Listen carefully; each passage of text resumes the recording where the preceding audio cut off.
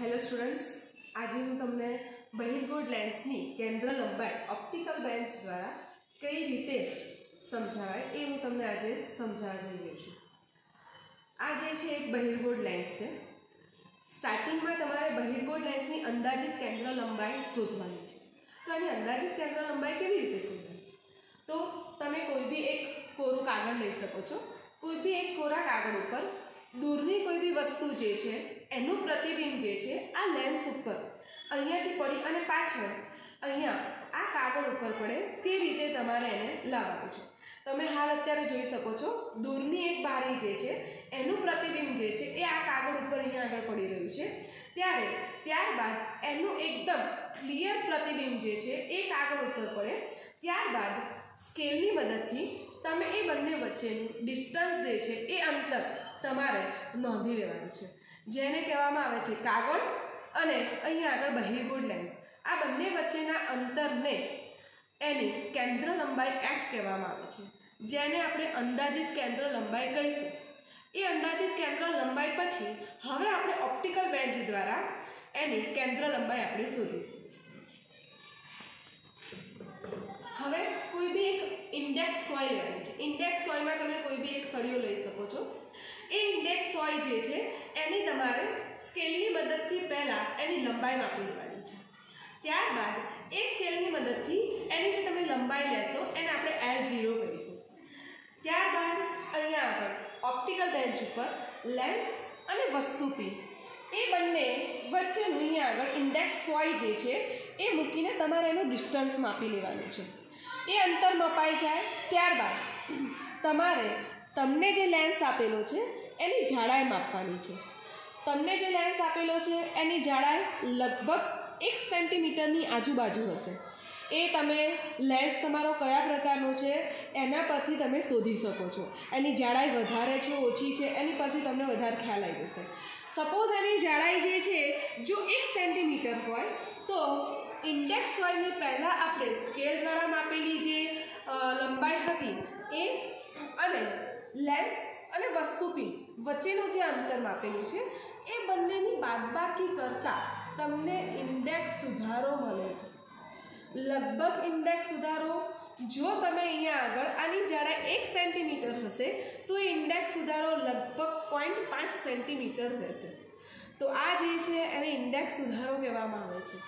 આ ઇન્ડેક્સ સુધારો મળી ગયા બાદ, હવે આપણે પ્રેક્ટિકલ કઈ રીતે પરફોર્મ કરવાનો છે, એ જોવાનું છે. તો પ્રેક્ટિકલની અંદર સપોઝ લેન્સ જે છે લેન્સને તમે અહીંયા આગળ પચાસ સેન્ટીમીટર ઉપર આ ઓપ્ટિકલ બેન્ચ છે, એની ઉપર સ્કેલ તમને આપેલું છે. હવે આ ઓપ્ટિકલ બેન્ચમાં સપોઝ તમે આ જે લેન્સ જે છે, એને પચાસ સેન્ટીમીટર ઉપર મૂકો છો. લેન્સને પચાસ સેન્ટીમીટર ઉપર મૂક્યા બાદ તમે એની અંદાજિત કેન્દ્ર લંબાઈ શોધી દીધી છે.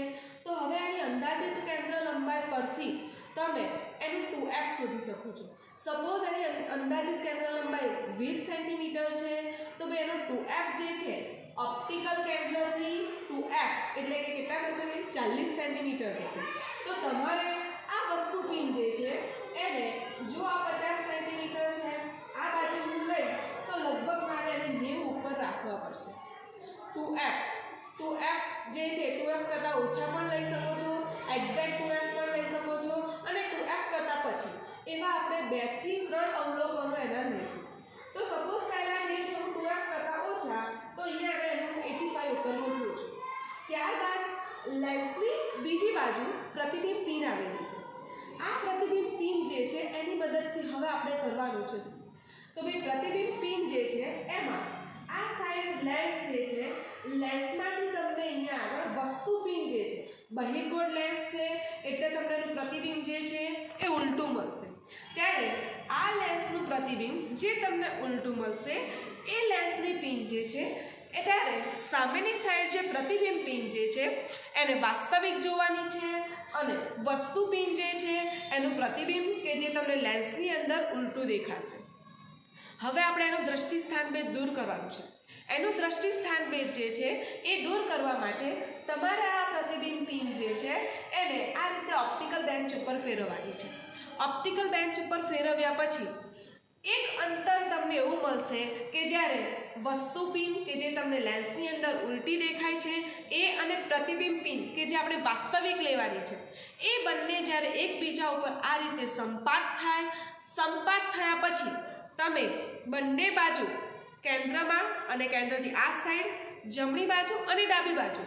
જ્યારે ફરશો, ત્યારે આ બંને પિન જે છે, એ એનું સ્થાન છોડે નહીં. એને કહેવામાં આવે છે દ્રષ્ટિ સ્થાનભેદ દૂર કર્યો. તો જો જ્યારે પણ આ દ્રષ્ટિ સ્થાનભેદ દૂર થઈ જાય, ત્યારે એ વખતે લેન્સ અને પ્રતિબિંબ પિન વચ્ચેનું જે અંતર જે છે, એ અંતરને આપણે પ્રતિબિંબ પિન કહેવામાં આવે છે. આ જે અંતર મળશે તમારે વસ્તુ અંતર નોંધી લેવાનું છે અને પ્રતિબિંબ અંતર જે છે એ નોંધી લેશો. ત્યાર બધી તમે અવલોકિત વસ્તુ અંતર અને અવલોકિત પ્રતિબિંબ અંતર એની મદદથી આની તમે અવલોકિત કેન્દ્ર લંબાઈ શોધી શકો છો. ઓકે તો સ્ટુડન્ટ્સ તમે જોઈ શકો છો આ વસ્તુ વસ્તુપિન વસ્તુ પિન જે છે, એનું પ્રતિબિંબ તમને અંદર ઉલટું દેખાશે. હવે આ પ્રતિબિંબ જે છે એ લેન્સની અંદર જે દેખાતું હશે, ત્યારે આ પિનને તમે વાસ્તવિક જોશો, ત્યારે બંનેની ટોચ લગભગ એકબીજાને આ રીતે મળે છે. મળ્યા બાદ પણ જમણી બાજુ અથવા તો ડાબી બાજુ, જ્યારે તમે જોશો, ત્યારે એ પોતાનું સ્થાન છોડતું નથી. બંને એકબીજા ઉપર સંપાત થઈ રહે છે. આ રીતનું જ્યારે પણ તમને અવલોકન મળે છે, એને જ કહેવામાં આવે છે લેન્સ અને પ્રતિબિંબ વચ્ચેનું અંતર.